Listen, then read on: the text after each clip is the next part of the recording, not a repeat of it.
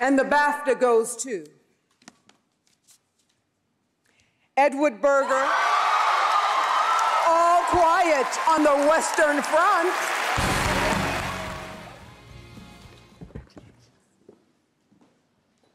Um,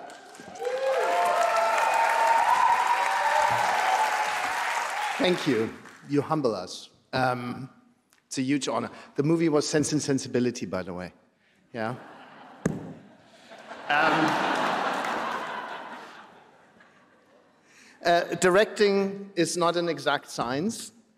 Um, so I always ask myself these questions Should I do this movie? Uh, is it going to be good? Are people going to want to see it?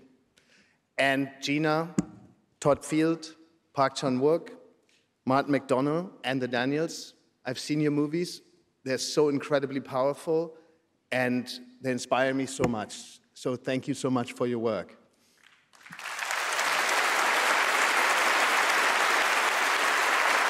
And I'm sure you know what I'm talking about when I talk about doubt when taking on one of these movies. Should I make it? And so this time I went home and I wanted to discuss it at the dinner table. And my daughter, when she heard the title, she said, All Quiet on the Western Front, you have to do it. You have no choice. I read it, I just read it in school, and just go and do it. So thank you, Matilda, for giving me for giving me the confidence and turning the doubts into faith and or trust and, and making me do this movie. Thank you so much. Uh, I also want to thank I also want to thank um, Tolly Shields, uh, Lisa Taback, Kelly Dalton, Jennifer Peterson, Hector Farrar, and Claire Wilson for constantly pushing our film and making people watch it. And my crew, of course, James Friend, the DOP, Lisy Christl, Volker Bertelmann, Benedict Herrmann, um, um, um, um Christian Goldbeck, um, Sven Budelmann.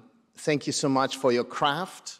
You contributed so much to the film. You made the film, basically. Without you, it would be nothing. So thank you so much.